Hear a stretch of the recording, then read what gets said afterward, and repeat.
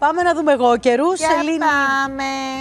στους διδήμους σήμερα κάνει θέματα της καθημερινότητας, δουλειά, ό,τι έχει να κάνει με υποχρεώσεις στο σπίτι, στην οικογένεια, ό,τι τέλος πάντων έχει ο καθένας από εσάς, τα κάνει προτεραιότητα. Λέει ότι πρέπει να οργανώσετε λίγο καλύτερα το χρόνο σας α, τη σημερινή ημέρα για να σας μένει και λίγος χρόνος για εσάς τους ίδιους, για τις ανάγκες που μπορεί να έχετε και για το σώμα σας, να κάνετε λίγη γυμναστική, να μαγειρέψετε ένα φαγητό. Έχω γυμναστικούλα σήμερα. Ανάτα. Ορίστε. Ωραία λοιπόν. Ό,τι ανάγκη μπορεί να έχετε λοιπόν εσείς οι ίδιοι, να την καλύψετε με κάποιο τρόπο εμ, και να κερδίσετε όσο μπορείτε χρόνο τη σημερινή ημέρα, γιατί οι επόμενες δύο μέρες είναι λίγο πιο πιεστικές.